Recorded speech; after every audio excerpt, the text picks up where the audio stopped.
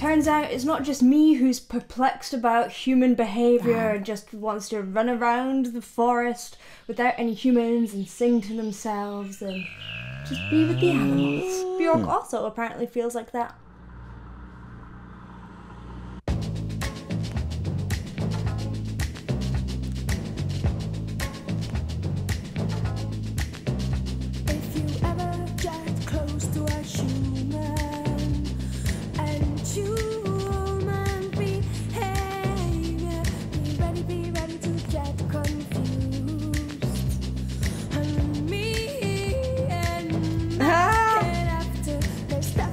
I love the me that flip up to head voice using yodels and things like that. But her voice is very unusual. She is setting her voice against the key of the music, so she's using notes that are chromatic and don't necessarily fit with the chord or fit with that lovely timpani sample. Now the timpani is um, a massive drum that's often used in orchestras. And the timpanist goes.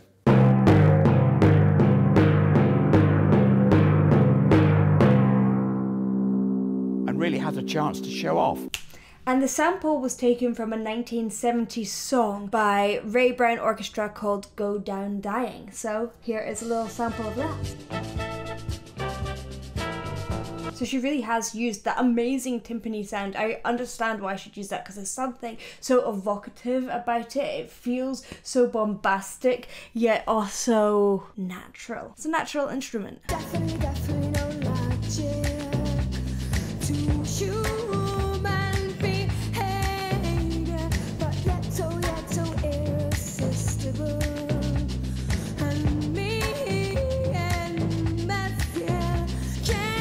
those little me. She's making more of a difference between her head and her chest voice. It's really important though that you land on the note. If you're like me and then end up somewhere around that's really tricky uh, to have that precision but it's really important me I think those were the notes. They're so um, in an unusual order that my brain is like, ah. She definitely does not keep to the rules of music. She does her own thing. that allows us to. I'd say that this is one of the more normal songs, and this is her first after being in the Sugarcubes. Going back to music that she made in her childhood. And there is no more uncertainty. I love all the textures. Like I think that's a little guitar, Terribly, terribly wounded. a tambourine, and a shaker.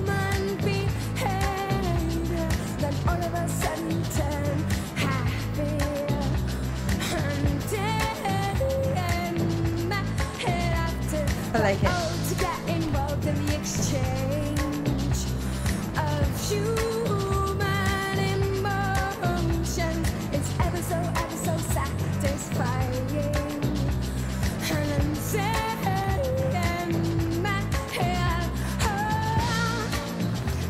A lot of Bjork stuff. The more recent Bjork stuff for me is a little bit too far towards the avant garde. I find it a bit overwhelming to listen to, but this toes the line for me really well. I really enjoy this era of Bjork's work, and it doesn't mean that the latest stuff isn't good. It's just it doesn't suit me for whatever reason.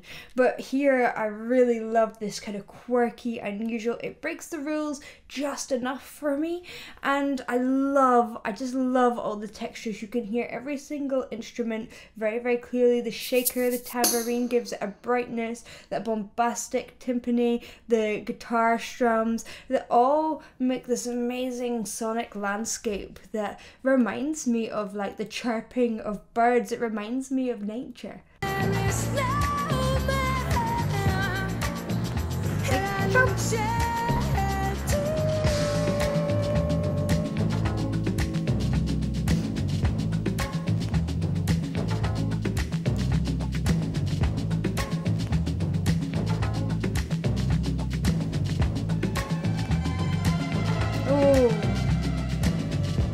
And then the orchestral elements.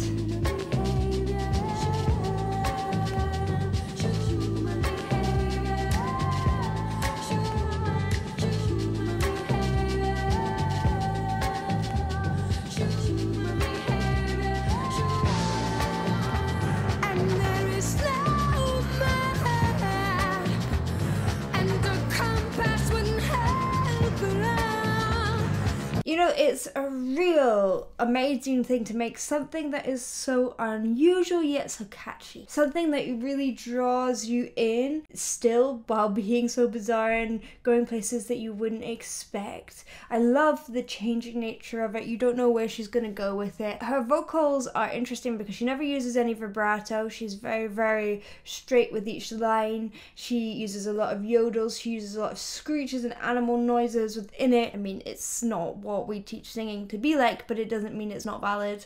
It's fantastic singing. It's really, really emotive.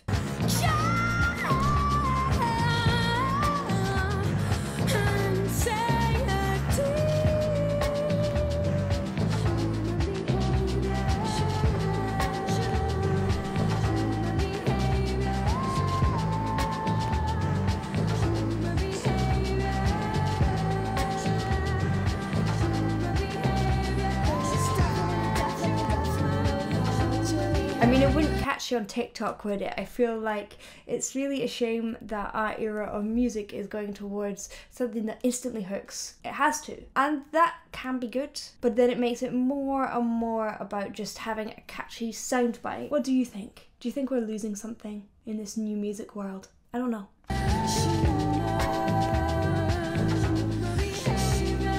Ooh, she's in some tea.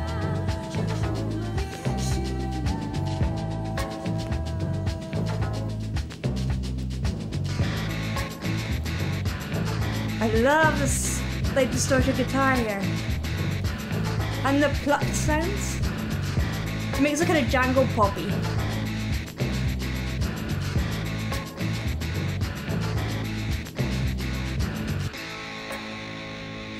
Do you feel as satisfied by the way that there's all these percussive plucked sounds within it? That's really satisfying to me. Now, a little fun fact Bjork's name actually means birch tree in Icelandic. Oh no, does she get captured by the bear? Oh. It's nice that she has this hook of that sample going on throughout.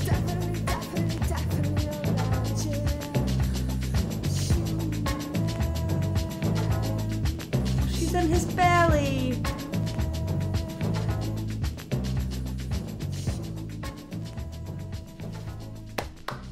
Irony. There's something so wonderfully ironic about the end of that where she is lamenting human behavior but then gets eaten by the bear. Oh. Before you go, I want to tell you something. I have just released my very own album. It's a little bit Bjorky, so if you're into Bjork, you might like it.